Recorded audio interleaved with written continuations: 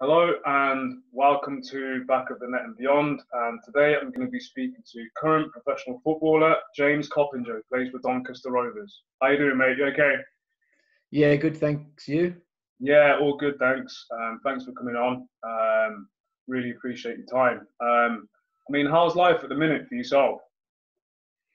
Uh, good. Yeah. Um, obviously, with with lockdown, things have been a little bit different. Um, I've got three kids, two boys, 12 and 13, and my daughter's six. So homeschooling, um, which isn't always easy when you're a professional footballer. No, no, 100% agree, mate. Um, I mean, I'll be honest, I retired kind of seven years ago, and I've got two kids myself, and no one predicted the, the pandemic and obviously the situation that we're in at the moment and homeschooling and things. So I, I know exactly where you're coming from with regards to that. Um, but yeah, I mean, um, in terms of the show, um, obviously for the listeners out there and kind of anyone that's not really listened to any of my podcasts in the past, um, mainly for me, uh, the reason for doing a podcast is to get people on like yourself, athletes, former athletes, figures within sport, um, and just make everyone aware how kind of uh, athletes operate and the transferable skills that they've got, which suits other industries and, and uh, organisations, which uh, in a way, I don't think the information is readily available um, from an athlete's perspective and also kind of uh, an organization, organization's perspective as well. Um, so yeah, once again, thanks for coming on. Um, obviously, just just let everyone know kind of what you're doing at the moment with yourself. Obviously, you're still playing for, for Doncaster, and it seems like you've been playing for many many years now. I mean, we're we're the same age. Uh, you're, you're slightly, I think you're about six months older than me, uh, but the same age group, same year group and you're still playing. So I mean that that's amazing in itself. But yeah, just let everyone know kind of uh, what you're doing at the moment. Yeah, so like you said, I've been at Doncaster 16 seasons now. Um, just signed a new contract that'll take me into my final season. I've, I've sort of announced that this will be my final year in professional football. Um, I, th- I, think I think the timing's perfect. I always wanted to play um, to 40 and sort of have my kids sort of watching me and, and coming to the games. And um, yeah it's a real sort of um, a thing that I'm proud of. Um, but I feel like I've been fortunate with injury. So I've played 40 plus games every season for the past 18 seasons. Um, and I feel like that's why I'm still playing. My body's conditioned, and I feel like I offer something every season, regardless of my age. I think 36 and 37. Um, I got player of the season uh, both years. I got over 10 goals, most assists in the division, player of the season, uh, voted PFA team, team of the year 36 37. And I think every year, sort of, I've sort of pushed myself because once you reach 35 you get to a stage where it's, it's one year contracts. So for me it's trying to justify my worth in the team. Regardless of being at a club that long i don't want to be part of the furniture and just being given a contract for mm. the sake of being given a contract. So uh, my motivation every season is to prove my worth which is, is, is still being good stead. Um, like you say I, I got one based on what I offered last season. Um, most assists in the team, most key passes in the division last year. Um, so I'd like to think that my contract this year for next year is warranted. Hundred percent, mate. I mean, I'll be honest. I know what it's like to obviously to even obviously make it as a professional footballer and sustain a career. I knew about you from from kind of when I was 16, 17, and indirectly followed your career. We obviously play a similar positions, so naturally I've got kind of an affiliation with kind of you on the pitch and how hard it is to obviously play on the wings. And uh, I know sometimes you play kind of other positions as well, but primarily you're, you're a winger. Um, I mean, how does it feel? Because you're obviously 39 now, obviously really fit, um, and obviously you offer a lot season in, season out, uh, on and off the pitch to whoever you're playing for. Um, and obviously you're at Doncaster at the moment, which is probably where well you've obviously played most of your career there, and you've amassed nearly 700 games uh, obviously, you said you're 39 now. So, I mean, that's some achievement. How, how does that make you feel? Because obviously, again, the older you get, the harder it is, as you mentioned, to get contracts, and you have to justify kind of reason why you're getting one, and not only to the fans and, and the management, uh, but also your teammates as well.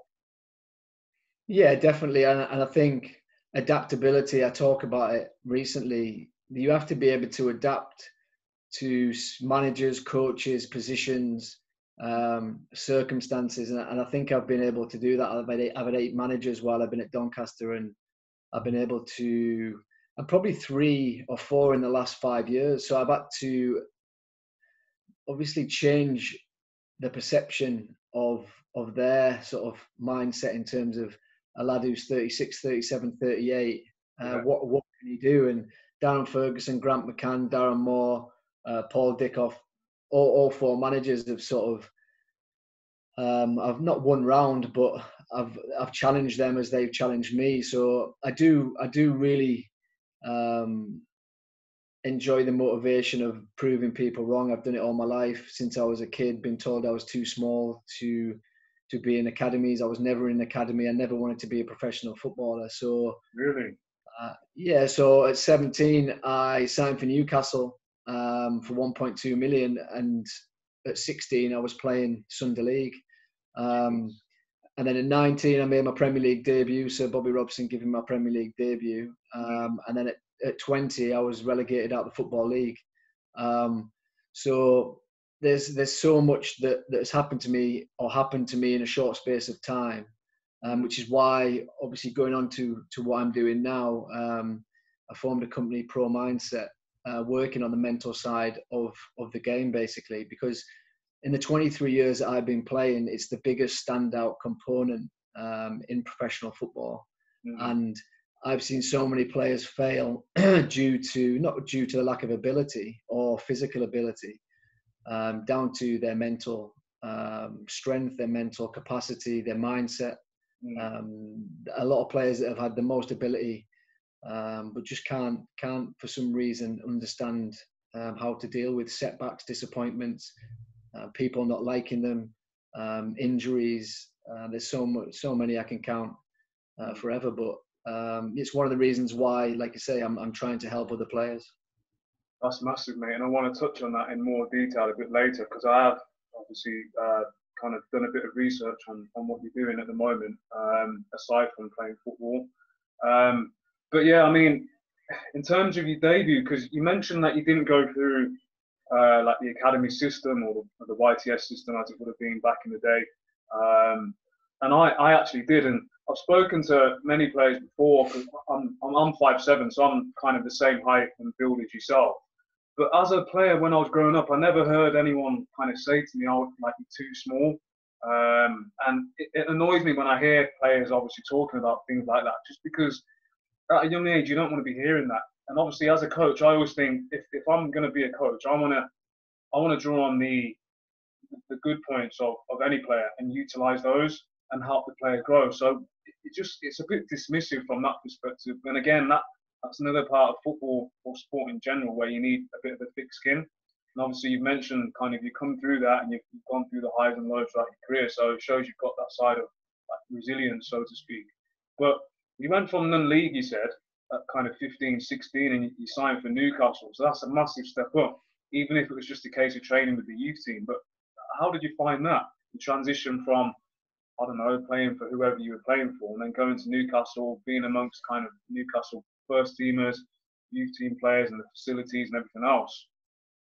Yeah, it was um, it was unbelievable to be honest how it came about. I mean, like I say, I played Sunday League for Marton Juniors, who uh, the likes of Jonathan Woodgate, Graeme Lee, um, Stewart Downing, a lot of players from Middlesbrough played played at that sort of uh, for that team. Um, I then played one season with with my friends, got player of the season, uh, top goal scorer, and then Darlington um, saw me and offered me a two year YTS. Um, sort of three months into that YTS, I represented England. I went down to Lilleshall uh, for a trial. I got picked. Um, went to Poland. Uh, went to the European Championships as well. Um, and then Newcastle signed me. I mean, I went in one day with the YTs in February on deadline day, um, and the manager called me up to his office. Um, I thought I'd done something wrong. I didn't have a clue what was happening, and then he told me that my dad was coming with a suit, and we were travelling up to St James's Park. Um, really? Yeah. Ironically, they'd I'd been up there for a trial this probably six, eight months previous, and they'd, they'd obviously uh, rejected me. Okay. Um, and then I was going up there, traveling. Me and my, my mum and dad um, went to St James's Park and obviously negotiated a contract and I signed. Um, so one day I was training with the YTs, the next day I was training with Kenny Dalglish and Rush, John Barnes, Alan Shearer, uh, wow. players, Stuart, Stuart Pearce, players that I'd looked up to and um, envied for years and years. Um, yeah. And like you say, it was it was unbelievable. It was it was something I look back on now, and I was never I was never mentally prepared for that. I mean, um, obviously we'll go into a lot later on, but I never believed I should have been there for four years. I was there. Um, okay. And ironically, I made I made a Premier League appearance under Sir Bobby Robson, mm. based on my, my based on my ability alone, nothing to do with anything else. Um, like you say, I was always told I was too small when I was a kid at school. I couldn't get in the county team because I was too small. Uh, Middlesbrough wouldn't sign me because I was too small. So, like you said, I was constantly getting told mm. um, he can come and train with us, or he just needs to grow a bit. And um, it just, again, my dad never pushed me. My dad was never one of these people who. I remember going to Blackpool and standing on the sidelines for the whole game whilst um, being at Middlesbrough or trialing for Middlesbrough. And my, I said, "Look, Dad, I'm not doing that again." And my dad went and spoke to one of the, the coaches, and he said, "Look, James doesn't want to come again." He went, "What do you mean?" He says, "Well, he's not going to stand on the sideline and watch." He went, "Well, people give their right arm to do that." And he said, "Well, James isn't going to do that." Yeah. So I never went. I never went back there, and um, like you say, I, I always wanted to enjoy. I love playing football. That's why I'm playing at 39. I mm. absolutely love what I do. I wake up every morning and I absolutely love training. I love playing games. I love playing with my kids. I've been playing on the pitch, heads and volleys uh, this afternoon. I've been doing some running, then we've been playing heads and volleys. I absolutely love it, and that's why I do what I do. I don't do it for my motivation. Isn't money. It's never been money. It's always been because I love what I do. I know that sounds corny, and when I say it, I think, wow, people must think I'm stupid or I'm joking. you just you're just being honest at the end of the day. Yeah. Yeah, I think it backs up why I'm still playing. Um, yeah. I think a lot of players fall out of love with the game. They maybe play for a certain amount of money and they don't want to take the money doesn't justify playing football. Uh, yeah. For me, do you know what I mean? I, I, I play for free if I if, if, if I had to, and I probably will end up playing for free um, because I, I, do really enjoy. it. I've, over the 12, 13 weeks that that I've been off, um, I, as soon as I went back and started kicking a ball, I just get that feeling, you know. Mm. It just, it just, it's something that I've done all my life, and it makes yeah. me feel really, really happy. So, mm. that's massive, mate. I, I, I, digressed a bit there. Sorry. No, it's fine. Um, uh, to be honest, sometimes I just like to let people just tell their story, and like I said up there, you can you can take it where you want because most people they've got a perception of athletes, especially footballers, as you know, and most of the time it's not true. So again, it's it's another reason why I'm doing the podcast to get people to see a different side to footballers or, or kind of athletes in general. Um, you mentioned when you were at Newcastle, you made um, your appearance, your, debut under uh, Bobby Robson in the Premiership. At, at that time, it was called. So how was that feeling for you? Obviously, knowing that you've been through a lot beforehand in terms of too small, you need to grow a bit, come and train with us, and whatever else. To then make your Premiership debut, you must have been yeah, really happy yeah, it was. Uh, Ruud Gullit came in, so Sir, Sir Kenny Dalglish signed me, um, and then Ruud Gullit came in. I went uh, traveling with the first team pre-season, uh, played in some pre-season games uh, with Alan Shearer, scored some goals, did really, really well. Mm. And then he got the sack. Um, Sir Bobby came in, put all the reserves on the transfer list, um, including myself. I went out on loan to Hartlepool, did really, really well, came back, and yeah, I got the opportunity to make my debut um, at home, partnering Alan Shearer up front um, against Tottenham, and it was unbelievable. Like you say, it was one of them moments that I probably took for granted, like everything at, at that time. Yeah. Um, and like I said previous, I was never mentally prepared for that. I thought once I'd made my debut, that was it. I'd, I'd cracked it and mm. sort of stopped doing all the things that had got me to that point, really. Um, and and that's why I'm so passionate about what I want, what I'm going into in terms of trying to mentor other players, um, trying to pass on my knowledge, um, because I feel like at that point I had no support on network. I had nobody around me that really cared, not really cared, and, and that doesn't sound because my mum and dad had divorced. My mum and dad were going through their own sort of issues. Um, yeah. None of my family had ever been in that situation before. My granddad had just been diagnosed with cancer. Um, a lot of things were going on off the pitch that that were totally out of my control, but um, yeah. that people don't see. You know, people just see what's going on on the pitch and what what you're doing day to day. I feel like mentoring players and, and offering players that um, experience and that different way of thinking and a different outlook on things um, can really help, I think. Brilliant. Uh, 100% agree with what you're saying there. Um, and I've said this before, kind of speaking to people on and off air. And I said, normally when you're, we always draw on football because obviously I've played, you've played, and most of the people I speak to on the podcast is, is generally footballers. Um, so I, I always say, when you sign for a club or before you sign, naturally you have a physical medical and they check your, I don't know, I don't know, balance and whatever else, your agility and your speed and kind of you're on the treadmill and you're doing this and that and you're stretching. Fine. But I think going forward, maybe the next five or 10 years, as well as doing a physical um, kind of um, physical test, they're going to be, I think they're going to start implementing some type of, not a mental test, but another side of it, another facet to it, another strand to it, whereby they, they kind of check your mental state, your mental well-being as well. Because there's more information that's readily available nowadays. I mean, going back when we kind of made our debut, 99, 2000, um, it wasn't really prevalent, kind of mental health issues and um, kind of, it was always kind of locked away. People would suppress their feelings and things. And now people are more readily open to come out. And the more high profile, profile people come out as athletes, uh, the more kind of uh, kind of the more people who aren't kind of high profile um, household names will come out as well. Uh, I don't know what your thoughts are on that. No, I agree. I think I put an article on. I think it was today actually. Graham Potter, the Brighton manager's sort of looking at players' mentality rather than just experience now when he's signing new players for next summer. Mm. And I think I think the best managers are gonna um, going to do that. I've been speaking to clubs, uh, Premier League clubs, uh, with regards to what I'm doing, with regards to mindset, and the best clubs are the ones that it's at the forefront of everything they do. Mm. Um, they're starting to understand that there's so much you can do to enhance your performance, to help players uh, mm. day to day, um, and it's huge. It, it's for me. It's like I said, 23 years. It's the biggest thing that stands out for me um, there's so many different things you have to take on board as a professional footballer. Like what you're saying about transferable skills. That's why I feel like if you have a career in professional football, there's so many things that you can take from that because there's so much expected from you. Um, you're in a, a high pressure industry that's expecting results, expecting performances, expecting so much every single day, and yeah. you have to deliver.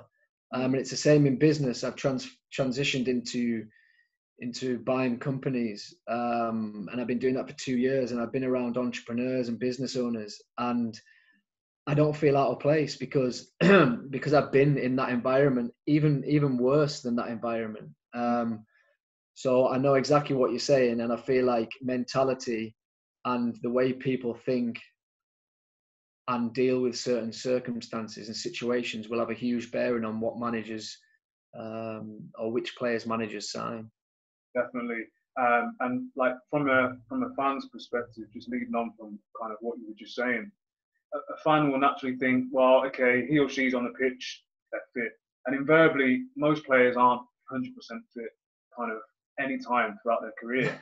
Uh, even like the likes of me and you, who are really lucky with injuries and stuff, as soon as you're on the pitch, everyone just thinks, as a, as a fan, he's fit or she's fit.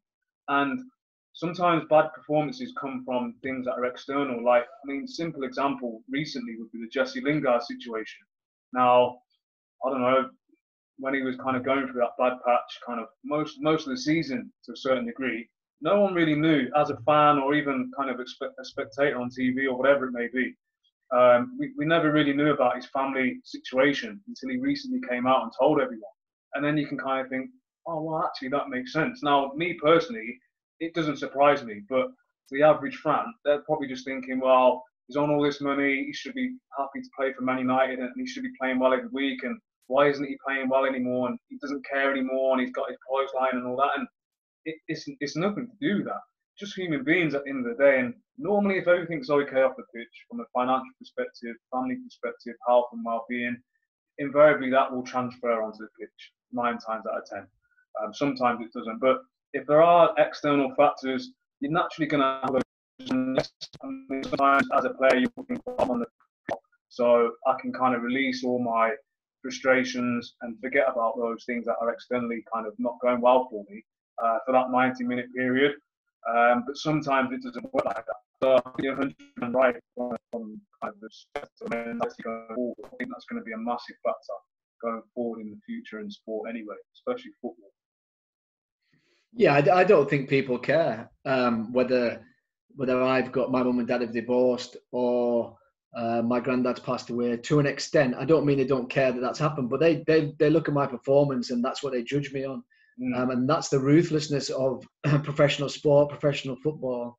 Mm. And people will have a little bit of sympathy, but that's why I feel like it's so important to to get your mindset right. Is mm. it's so important to understand that that you're creating you're creating it anyway. This is what this is where I'm going with it. You're creating it.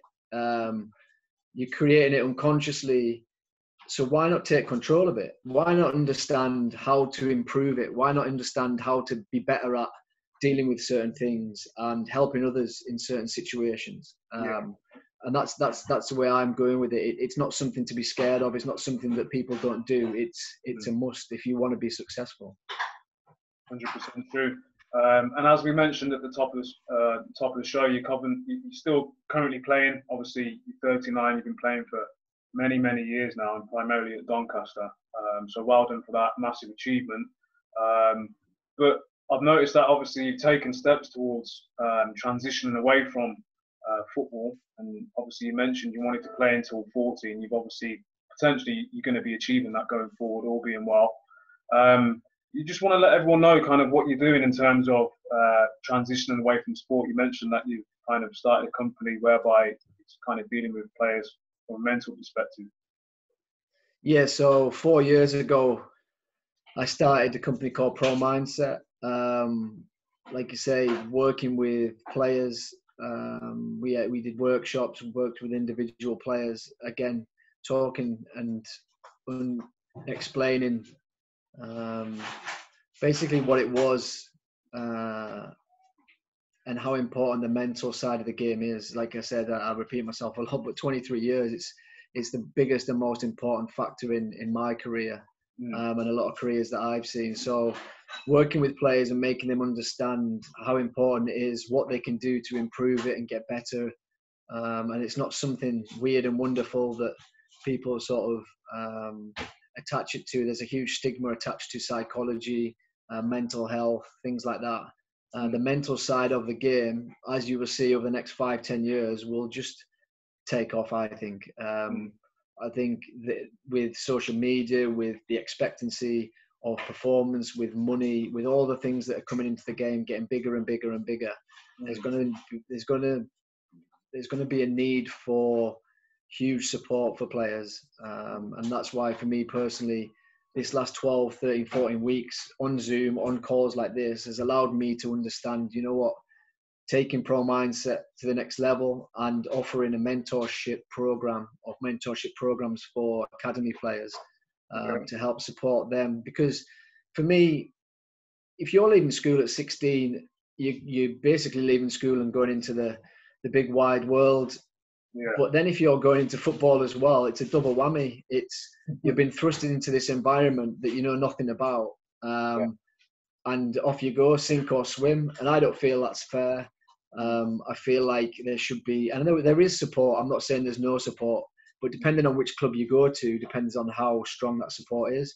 Mm. Whereas I feel like there should be constant support, somebody there for you on a on a on a fortnightly, monthly basis, where they can actually um, help you through your process. Um, because I believe that you can you've got 16 months, 16 to 18 months to determine whether you're going to get a professional contract or not.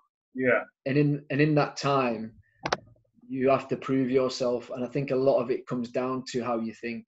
Mm. 100%. And do you want to just let us know how, how that actually works then? So, are you working with, I know you said you've got kind of a program for academy players and things. Would it be like a one to one session or a group session or a bit of both?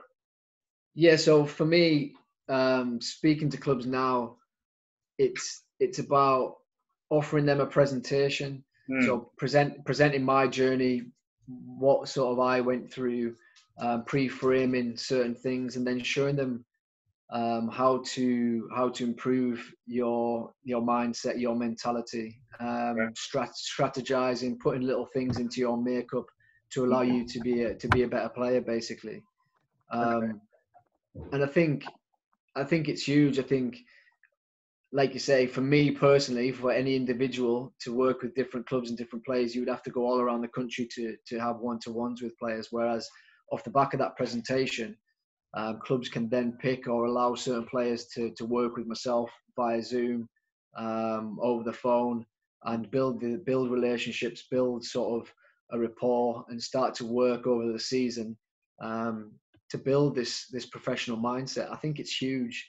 Mm. Um, again, you work on technical, tactical, physical, but who works on your mental game? Who, who who's actually supporting you um, and improving your mental capacity? Mm. That's great. I mean, I think that's a great service that you're offering.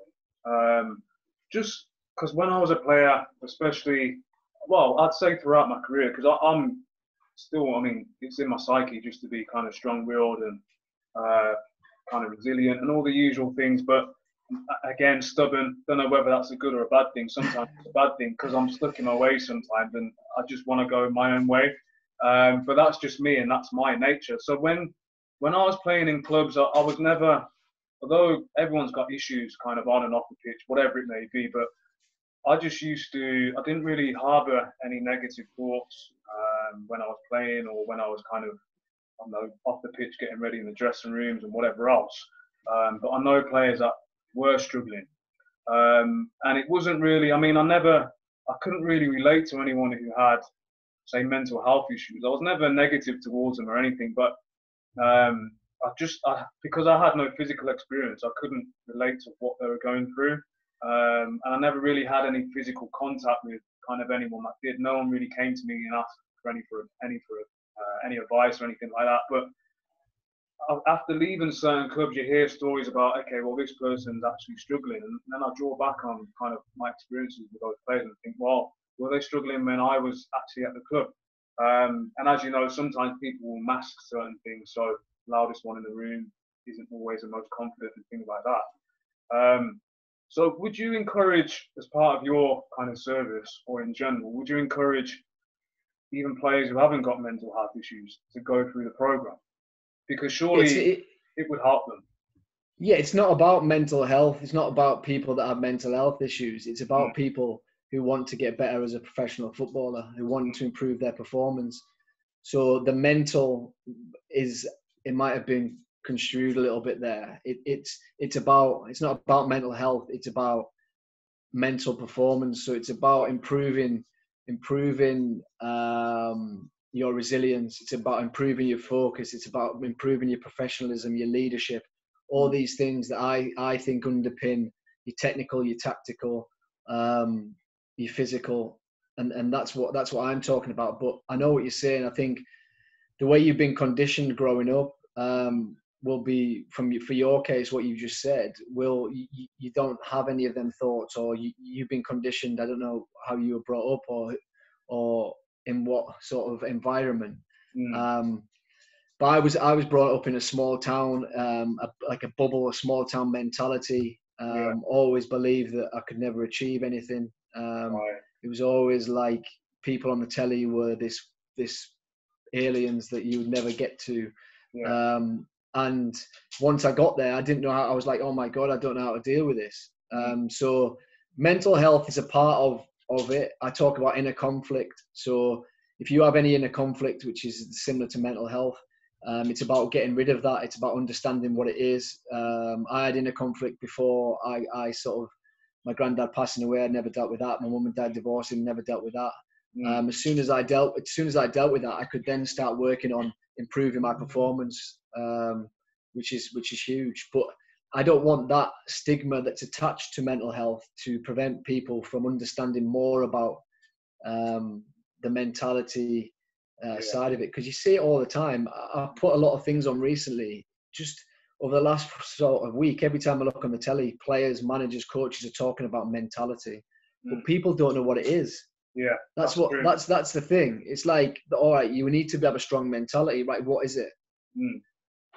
that's And true. it's like- actually. It's easy to say, and, and I 100% agree again with what you said because everyone says, okay, well, you need mentality, okay, you need resilience, you need to be this and that, and it's like, okay, so then ask the question. So, what is mentality? What What do you mean by it? And I don't think many people can answer it, to be honest. Um, you know what? easy- Yeah, be sorry because you the, the technical and technical and tactical. You go out and you can see it. You can see it with your eyes. And and the physical, you're in the gym. You're getting bigger. You're getting stronger. But the mental, you can't physically see it. So Mm. I think people struggle with that because it's it's almost like they Mm. don't see any change. But I'm telling you now, from where I was until I met somebody and started doing this, and it's been a 15 16 year progression and it's the, the single most reason uh, the single reason why i'm still playing now yeah, is my mentality um, i think if you just if you'd have gone back and i've spoke to people that have seen me at 20 and then seen me at 21 22 23 they wouldn't believe that i'm the same person Mm. Um, and it's all about me changing my mindset and thinking in a different way. I, I think um, a lot of people, like what you said there, it's just the way I am. But I feel like it's because you probably don't know, not you, but people don't know that they can change. I, Mm. I I wasn't aware that I could change the way I think to get a different result. Um, Yeah. And as soon as I was, as soon as I understood that, I was like, oh my god, this is Mm. amazing. So it's not just the way I am. It's not just me being me. Um, I can actually change this by changing the way I think to change what I do to get a different result. And it was, it was, it was a, a light bulb moment for me. Mm. And that's massive. So, and again, so we always talk about players and obviously getting into their psyche. And uh, I think what you're doing is great in terms of kind of helping them from a mental perspective, uh, in terms of enhancing their performance as a byproduct of uh, going through your program. Um, what about managers? Because, okay, I'm going to go slightly off piece, but in terms of like say schooling so in schools you've got say 30 kids in a class you've got one teacher and that teacher knows how to teach in one way. Not all those kids will learn in the same way so you're going to get the naughty kid on the side who's probably actually a bright kid probably knows it and knows what the teacher's saying but it's a bit easy for him or her so he's going to be a bit naughty or whatever. Um, and then you've got the kid who's probably a bit shy and maybe not come out and say anything may not put their hand up and ask questions so all those kids are learning in a different way, but the teacher's teaching in one one way. So they're not all going to get the same level of understanding or the same kind of um, attention from the teacher. And sometimes, as you know, teachers can be a bit dismissive. So I think some managers are like that as well. I've come across many different managers who like manage in a different way. Um, would you say like a program like what you've got is also kind of maybe not needed, but could be geared towards helping managers as well? Hundred percent. And you're absolutely spot on because I've had this feedback over the last sort of two, three years in terms of what I'm doing. Um, coaches should be be taught um, what to look for in certain players, how to communicate with players. The biggest thing, communication, is is always brought up. Um, you look at Jurgen Klopp, and he's the best at it. It's no coincidence that that Liverpool, um, Pep at Man City, that they're the two sort of um, up at the top and, and, and winning what they're winning and creating um, teams like they're creating because you've got two two of the best communicators uh, in football. And, and you're right. I think I, think I genuinely think it's changing. I genuinely think that to be a coach and a manager at a top level now or at any level, you need to be able to communicate with your players Mm. in a better way than it used to be when me and you sort of started. Um, you just can't get away with that anymore. Players, Yeah. uh, things have changed, and there's so so much information out there now um, that players can get hold of, and they can go and seek other people. Um, so as a as a as a manager and a coach now, you need to find ways. That's why I'm talking about Graham Potter and people like that. That yeah. they want to find the, the next the next thing that's going to make their team better instead of sticking to what they've been told to do yeah. or they were conditioned to think.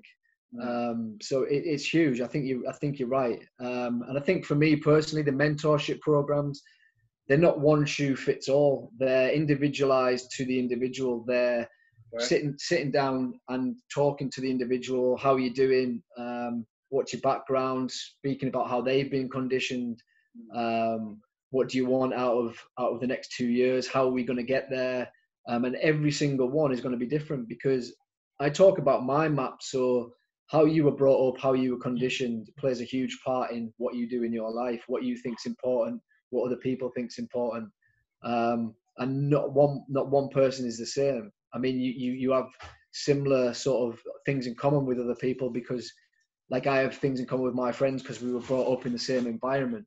Yeah. Um, but it's huge. It's absolutely massive. And like, you're right. People need to understand that people learn in different ways. Um, but I think there's so much out there now. People are cottoning onto it and becoming really, really educated on it. Yeah, I'm glad. Um, I'm glad you mentioned that your mentoring program kind of it's it's tailored towards the player because no two players are the same, uh, whether it be on the pitch or off the pitch. And so many of these kind of things that have come out in the past, they're kind of generic, and it's like, right, this is what we've got, and it's for everyone. And it, it's, yeah. it's too broad a scope. Um, everyone's different. You've got, like yourself, you come from a small town, okay, and your mindset is naturally harboring the thoughts of the, the small town that you came from, as in this is just a small town, nothing happens here, no one makes it into anything here, and you're just looking at people on TV thinking, wow, they're amazing, but that's not me, and I've been told I'm never going to get to that level. So naturally, it's going to be in your psyche, okay? But then you've got someone who maybe comes from London, inner city London, hustle and bustle, have got the kind of I hate using the word swagger, so I don't even know what to say. I, I hate it. Biggest bugbear, but they've got that kind of um, know, they're more streetwise to a certain degree. They're, they're more open. Um, they're going to learn and they're going to obviously have a different experience and outlook on things to yourself, in, invariably, nine times out of ten. So it's good that you kind of, you obviously speak to these players, understand their upbringing, where they're coming from, family background, and things like that, and obviously get to know them on the pitch, and then you can tailor something towards their needs. 100% again, and I ironically I um, went for an England trial at 16, like I said, and I went to Lilleshall, and my roommate was Paul Konchesky. Um, okay. so uh, he's me from Guisborough, the smallest town on the planet, and Paul Konchesky from London, who again has the swagger and the confidence, and um, and it was just unbelievable. It was. Mm. I couldn't believe it. The likes of Joe Cole, uh, Danny Webber, you had Webbs on the other day. Um, yeah. So they were at Lilleshall School, and just looking at these players from Manchester, Liverpool, Ian Armstrong, um, Michael Carrick from Newcastle, um, it was just I was out my depth that you can't imagine, mm. and mm. I was I was there because of my ability, not because I could sort of. Whenever I went on trial anywhere, I stood at the back. I always I always had self self belief, but I never had confidence. Mm. So I mm. always believed in my own ability. I always believed I was good as everybody else, but I never had the confidence to push myself forward for that reason because I was conditioned to think that way.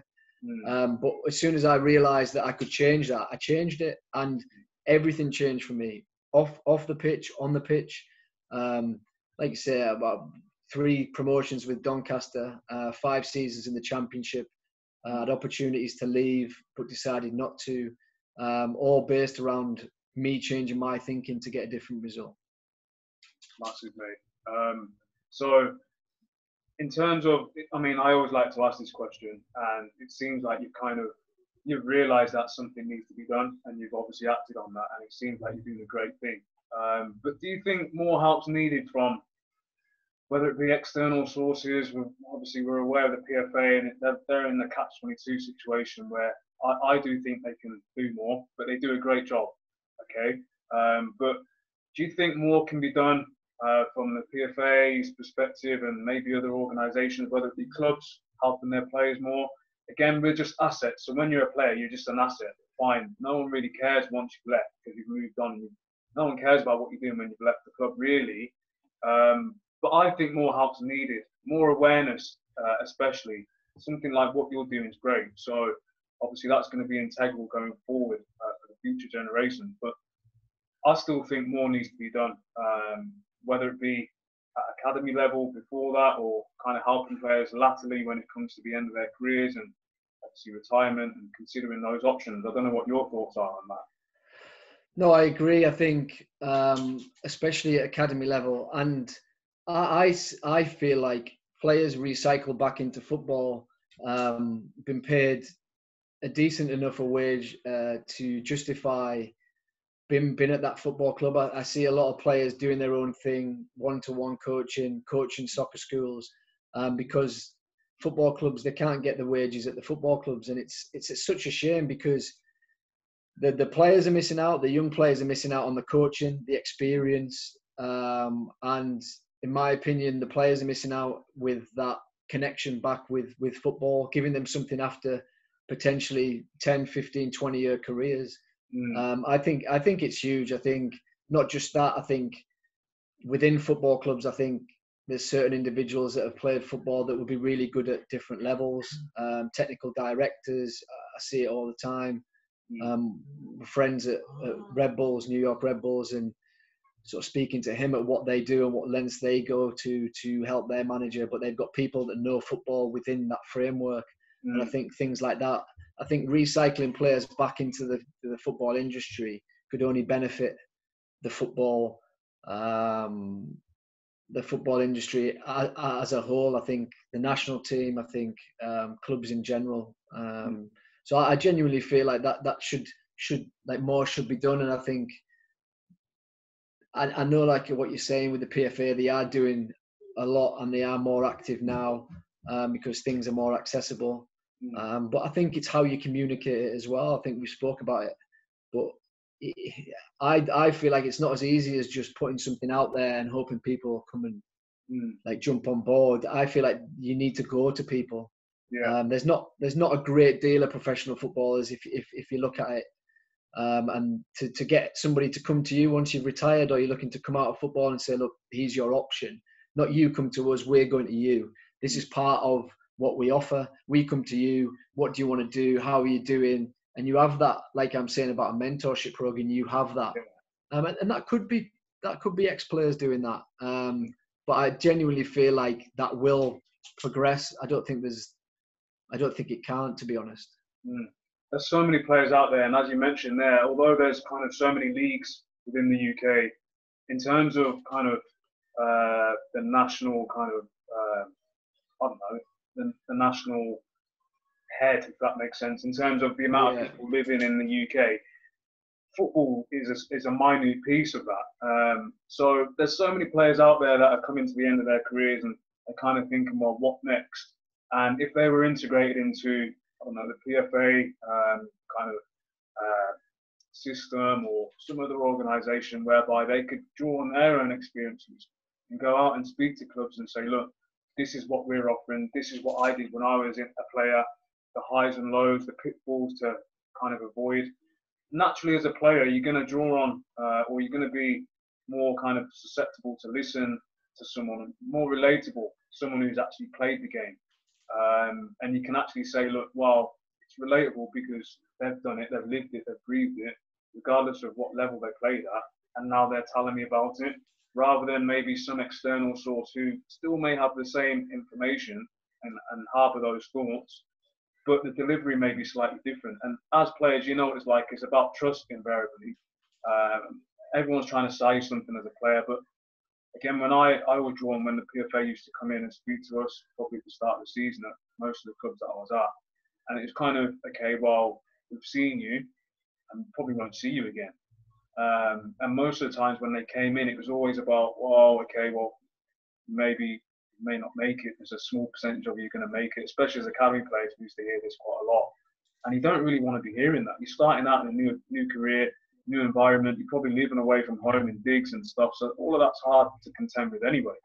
To then have someone come in and tell you you may not make it when you've potentially got Bobby Robson or I have Martin O'Neill saying not not the next best thing, but you're probably going to be training with the reserves or the first team shortly.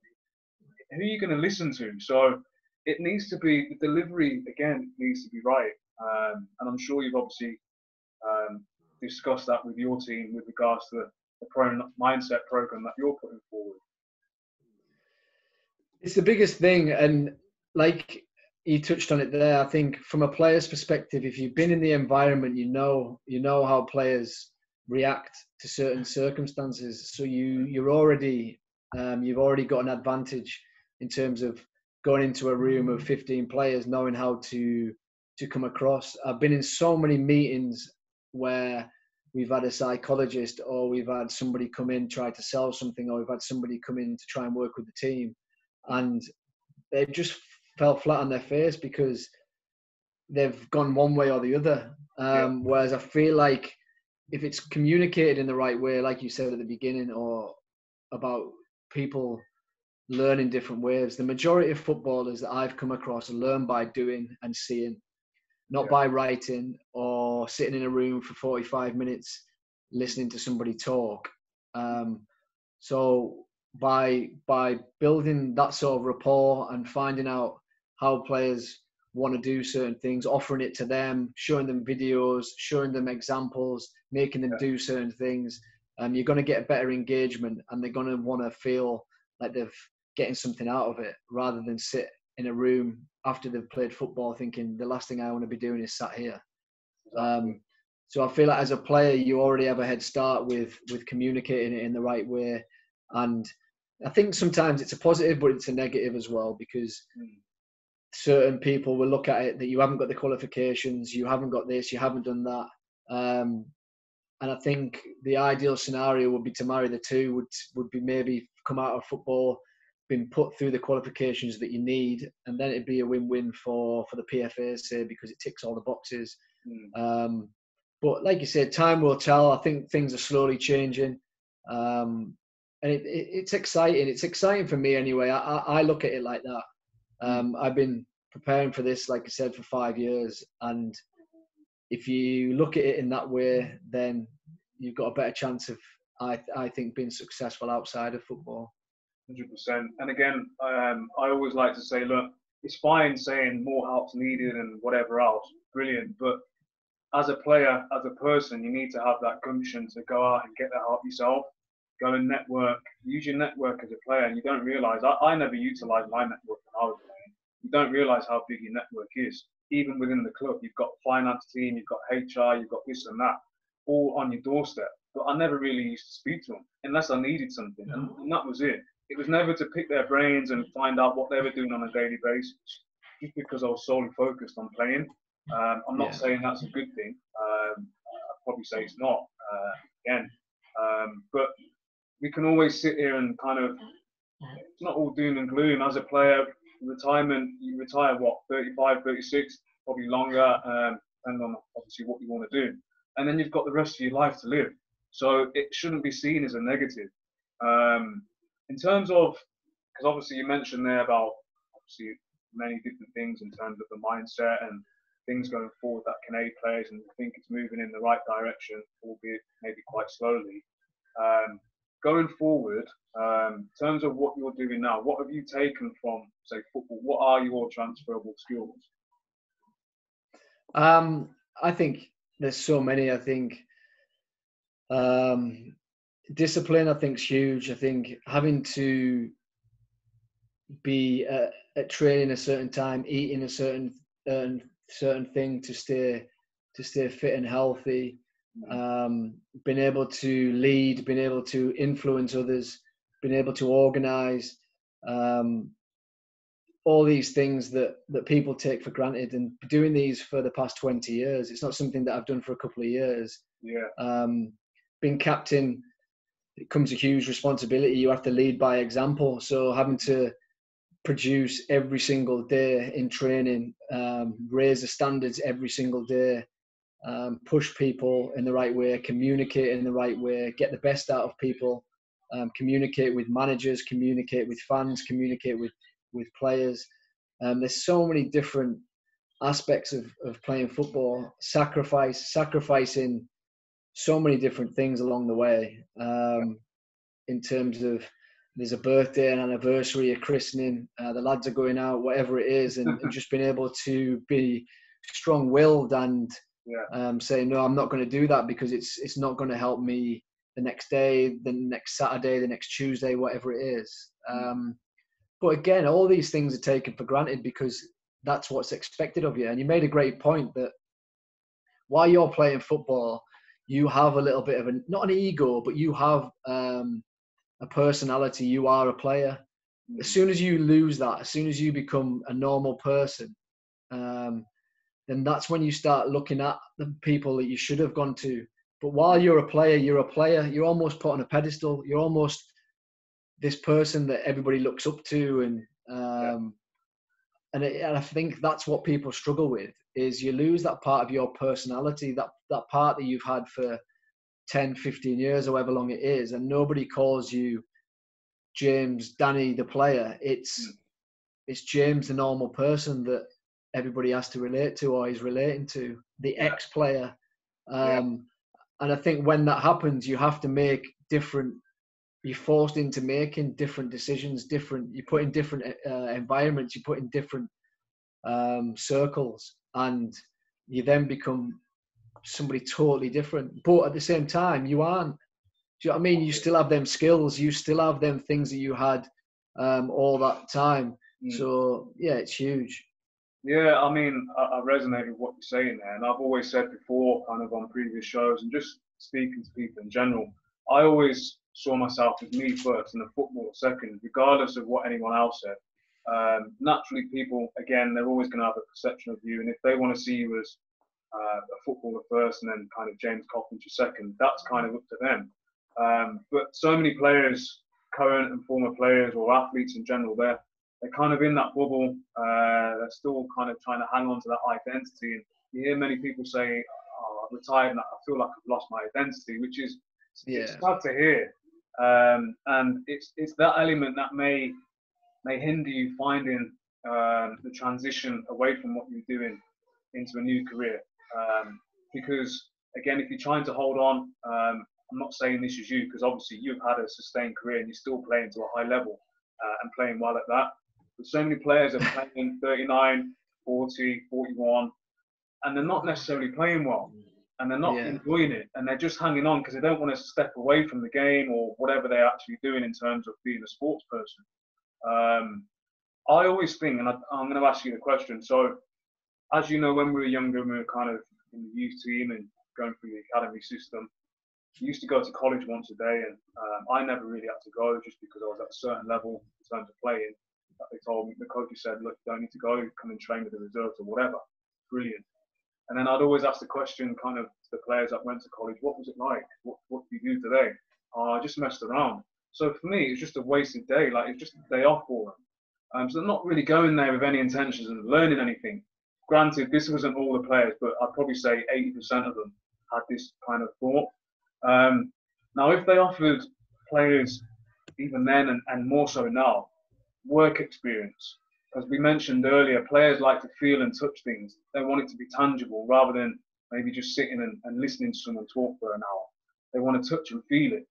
So, what about if they went and worked in an office, say in an estate agent or in a warehouse or something, something that they maybe chose, so the choice was theirs.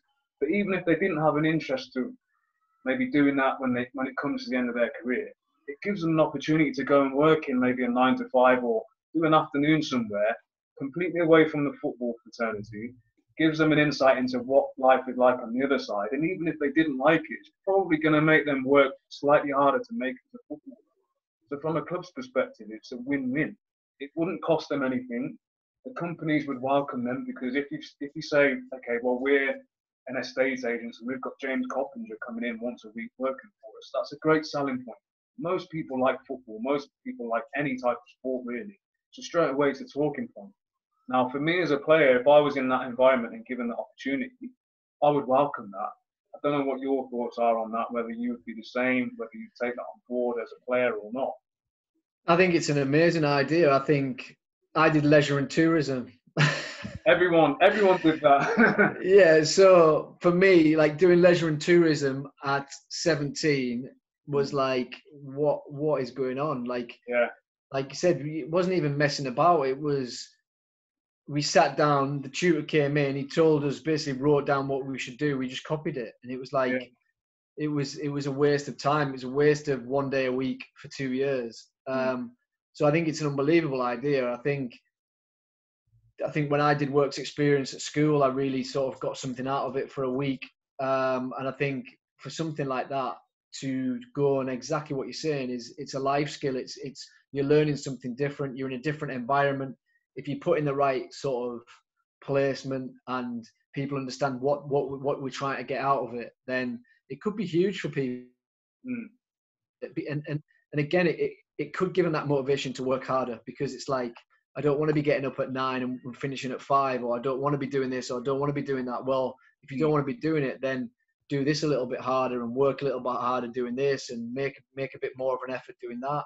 Mm. Um, so I think it's a great idea. I think I think it would really help the young players understand a little bit more about what's next.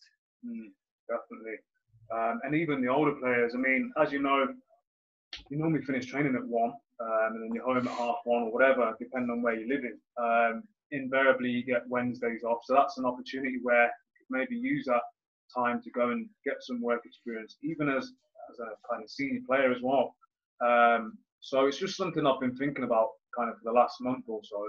Um, and again, I don't know whether that's going to be kind of something that will come into fruition going forward. I, really don't know, but it's just an idea I think is quite progressive. Uh, may have some legs in it. Um, I think. I think. sorry, I, I think there, Danny. I think, depending at what level, I think, um, and that's where I was going to go with everything. Like I think the Premier League are way out in terms of yeah. It's you could you could sign a five year contract in the Premier League and be made for life to an extent. You could have enough money to support yourself. If you sign a five year contract in the Premier League, then you're going to work your way down um, invariably and pick up wages as well, which which we've probably both seen. Um, mm. So you're talking League Twos, League Ones, Championship have, have still got a really a lot of money in there, and yeah. it's sort of you can still sort of define a, a, really good or make a really good career out of it if you mm. if you have sort of 10, 15 years in the Championship. So I think you're looking at sort of Leagues Two and Leagues One where that could make a huge difference. You know, where people maybe want to have the opportunity to, to get to them leagues and make that career and, and earn that money. Yeah. Um, whereas if they don't, then they have something to fall back onto, or it's almost explained to them in a way yeah. in which they understand a little bit more about it. It's actually yeah. they're aware of it. Mm. Yeah, you make a good point, and that's uh, 100% true. I, I agree with what you just mentioned there. Um, leading to a close, um, obviously we've, we've, spoken about your company pro mindset, and I think you, you said you buy companies as well. So just uh, it's an opportunity for you to sell yourself and just let everyone know, um, obviously, uh, the name of the company, where we can find you, what you actually do, and obviously just touch on. You mentioned you sell, um, sorry, you buy companies, so just touch on that a little bit as well, please. Yeah, so we formed uh, me and my business partner Sean Devine, who I played with at Exeter um, probably 16, 17 years ago. Sean's a little bit older than me. Mm. Uh, we formed a company called the Zenit Group, um, an acquisitions company buying companies all over the UK. Mm. Um, and yeah, basically making it easier for uh, business owners to exit their companies. Um, a lot of a lot of businesses that we buy, sort of business owners come to the end mm. um, to retirement age, and they've basically had enough. Um, they're either tired, worn out, and they just don't know how to exit their business. Right. So we formed a company making it easier for them to get out. Um, really transparent, um, and it's really exciting because for me and Sean, like what you said there, sort of transferring our skills into into the boardroom, into business meetings, into um, a total different environment, but with the same skills, hundred percent. Mm. Um, we've had to sort of meet and do vendor calls where there's me and Sean talking to business owners that companies are earning four, five, turnover four, five million a year, and wow. me and Sean have, have, have held our own and mm. um, it, it's huge. Like you say, being successful in football, gaining promotions. You have to you have to have something about you. You have to have good leadership skills, um, and it's the same in business. Exactly the same in business. And I feel like we both have that. Um, we offer, like you say, something um, totally different to everybody else. Yeah. But we have non-execs that have been business in business for 20, 30, 40 years. So we're learning from the best. We have huge. It's, it's like my mentorship programs uh, with Pro Mindset. It's like I have somebody who I can call upon at any point and ask questions, and they can guide me. Um, and, it, and it's massive having somebody. I call it modeling excellence. Having somebody who's been there, seen it, and done it is better than guessing and yeah. trying to to have a big ego and say I can do it by myself. Um, there's no point in doing that, in my opinion. Yeah, that, that's a that's a great point. Um, if you want to just let everyone know where we can find you on social media and, and LinkedIn and various other places. Yeah, so we're on LinkedIn um, and we've got a website, um, zenitgroup.co.uk. Um, and yeah, it's it's like you say, it's it's something totally different to what we're used to. Um, but we're meeting unbelievable people, and like you say, business owners are human beings like footballers are. And a lot of these companies they've started um, 20, 30 years ago, and they've built this, their companies up from nothing. And it's not always easy when you come to to the point where you want to sell your business um, because you have an emotional attachment to it, and that's where we come in. I think for us, it's about understanding the business owner, understanding what they want, and trying to make it a win-win for both parties. I think hmm. um, transparency is huge in anything that you do. Um, in business, like in football, there's a lot of people that do it the wrong way, yeah. Um, but we we feel like we do it the right way um, and communicate in the right way. Um, so yeah, it's it's really exciting and something that I'm really looking forward to do for the next 10, 20 years. Brilliant, mate. And in terms of yourself, where can we find you on the socials? Yeah, so it's the same LinkedIn um, and Twitter, Instagram. Um, Pro Mindsets on Instagram now. Hmm. Um, so again, I'm I'm trying to create content for people to help people to give people an insight into what a professional mindset looks like. Mm. Um, and I know it's not always what people want to see or hear. There's a, I feel like there's still a stigma attached to it. Um, yeah. People just get on with their lives and think they're fine, which which a lot of people are. I'm not saying this is for everybody, mm. but I feel like if you want to better yourself, if you want to be more successful, if you want to improve what you're doing, mm. then you have to understand a lot of that is down to how you think, and you can change how you think to get a better result. A lot of people just saunter along and think things are going to change for them, um, and I know for a fact that isn't the case. You have to change the way you do things and you have to change the way you think.